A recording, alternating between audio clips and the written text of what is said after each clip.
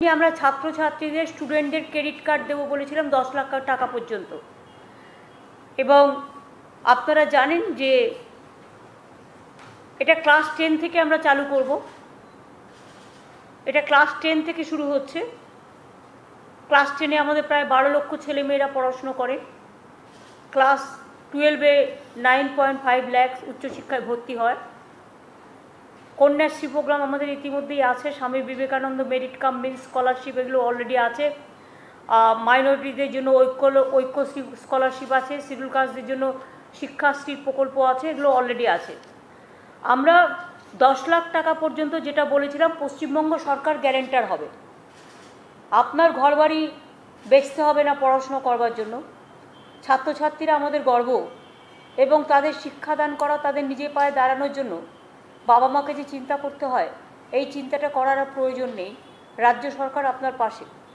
এবং আগামী তিরিশে জুন এই প্রোগ্রামটা অফিসিয়ালি লঞ্চ হবে। আজকে ক্যাবিনেটে এটা পাশ হয়েছে। নতুন স্টুডেন্ট ক্রেডিট কার্ড প্রকল্প অনুমোদিত হয়েছে। এবং এই টাকায় স্নাতক, স্নাতকোত্তর, পেশাভিত্তিক course, diploma course doctoral post doctoral স্তরে গবেষণার খরচ ইত্যাদি খরচের জন্য এই টাকাটা দেওয়া হবে। এই প্রকল্পের কিছু বিশিষ্টতা আছে। সরকারি হচ্ছে গ্যারেন্টার সুতরাং কেউ কাউকে গ্যারেন্টার নিয়ে যেতে হবে না পড়াশুনো করবার জন্য ব্যাংকে। যারা পশ্চিমবঙ্গের সকল বাসিন্দা, দশ বছর অন্তত পশ্চিমবাংলায় বসবাস করেছেন, তারা প্রত্যেকেই স্নাতক, স্নাতকোত্তর, পেশাদারি course, diploma course doctoral post doctoral গবেষণার জন্য ভারতে বা বিদেশে স্বীকৃত কোনো উচ্চশিক্ষা প্রতিষ্ঠানে এই প্রকল্পের সুবিধে পাবে। চল্লিশ বছর বয়স পর্যন্ত এই ক্রেডিট কার্ড তারা নিতে পারে।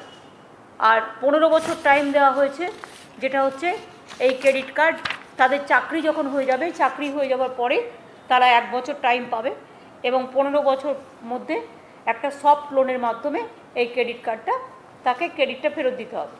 সুতরাং এটা ভীষণ সিম্পল এবং ছাত্রছাত্রীদের গর্ব। স্টুডেন্ট ক্রেডিট কার্ড এটা আমরা অনলাইনে দিয়ে দেবো এবং তিরিশ তারিখে প্রোগ্রামটা লঞ্চ করব।